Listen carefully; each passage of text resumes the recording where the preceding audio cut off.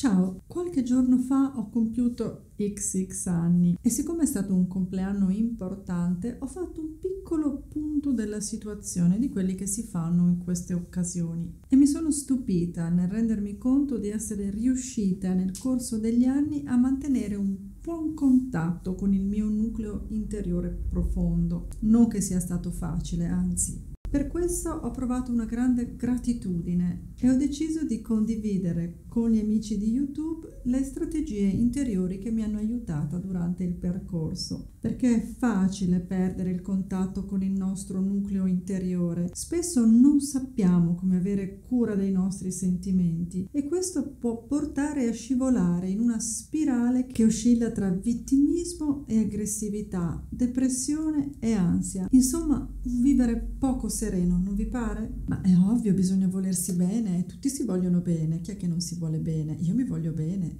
Ma sei proprio sicura?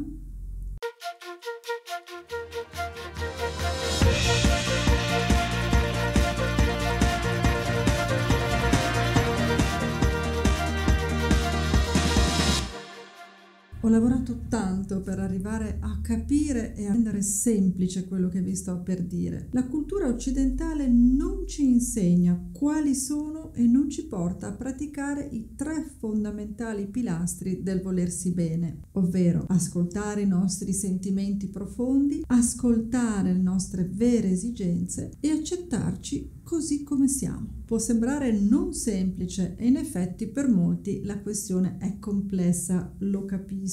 Ci sarebbero molte cose da dire a questo proposito, ma oggi voglio darvi un consiglio veramente efficace per fare un primo passo o un passo ancora più profondo verso l'amore per se stessi. È un consiglio semplice ma rivoluzionario perché i concetti più semplici sono i più profondi e conducono verso la vera chiarezza. Il consiglio è questo, smetti di criticarti. Tutti noi nella vita riusciamo in alcune cose molto bene e meno in altre e le cose fatte bene non riescono quasi mai al primo colpo e quanto bisogna faticare. Inoltre non sempre facciamo o diciamo la cosa giusta, questo è inevitabile, ma per questo non bisogna sentirsi inadeguati e giudicarsi male. La cosa fondamentale è fare le cose al meglio delle nostre possibilità. Come ho spiegato in questo mio vlog, si può gioire durante il percorso, non solo al traguardo. E il percorso non è mai lineare. Credi in te stesso perché se non sarai tu il primo a farlo, come potranno farlo gli altri? Il giudizio poco amorevole di sé spesso è una scusa per non agire. Quando ti viene un pensiero o un giudizio negativo su te stesso, formula il pensiero contrario, anzi se puoi dillo ad alta voce. Prima o poi i giudizi negativi si stancheranno di essere contraddetti ogni volta e non si presenteranno più nella tua mente. Invece Continua a lodare te stesso, comunque vadano le cose. Tu ce la metti tutta. Se la critica deprime, la lode stimola.